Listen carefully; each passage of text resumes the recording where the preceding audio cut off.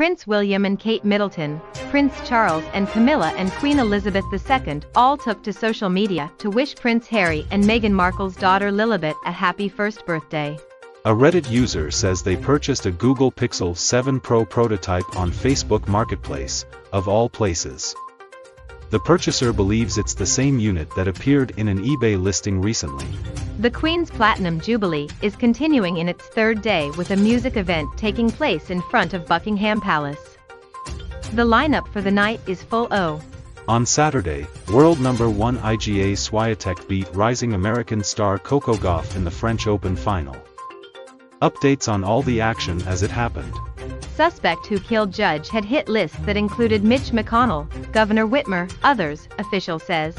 The factory at the center of the baby formula shortage will resume production Saturday, with another 6 to 8 weeks before it should restock store shelves.